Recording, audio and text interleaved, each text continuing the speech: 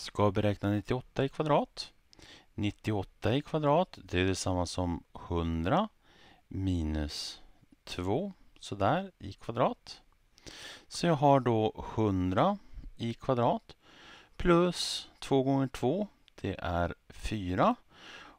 Minus 4 gånger 100, det är alltså minus 400. Inte plus, utan minus 400. Och sedan då, sen har jag då minus 2 i kvadrat som är plus 4. Sådär.